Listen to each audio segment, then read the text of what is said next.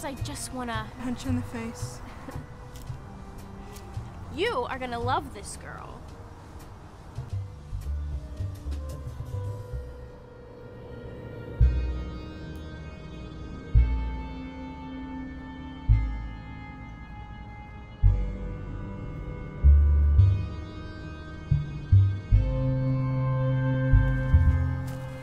Everybody moves here for the education. Basically, it's private school at a public school price. Anyway, you're gonna love it here. Do you surf? Do you have a boyfriend or. I shouldn't assume. Boyfriend? Girlfriend? I'm open to all possibilities. Uh, no boyfriend or partner, just me. What about. Easy, girl. Okay, I was just wondering. It's fine. Uh, there's no one in the picture right now. Actually, there's never been anyone in the picture, so.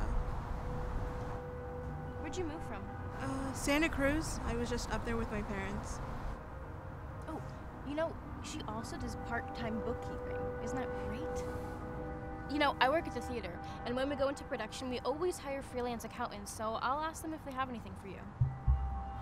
You're so nice. Thank you. This is Monterey. We pound people with nice. To death.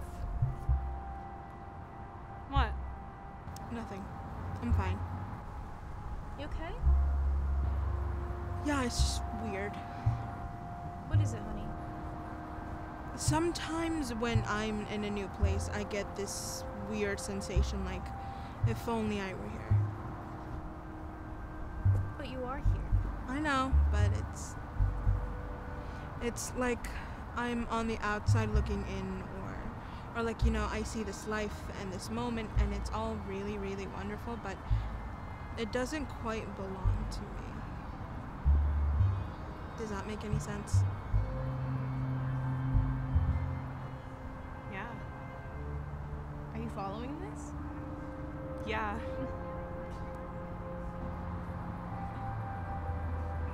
And I look at you, and, and you're so beautiful. That's true. Stop. That's true. And I don't say that to embarrass you at all, but it is true. And, and so are you. I agree. I sound crazy. Ah.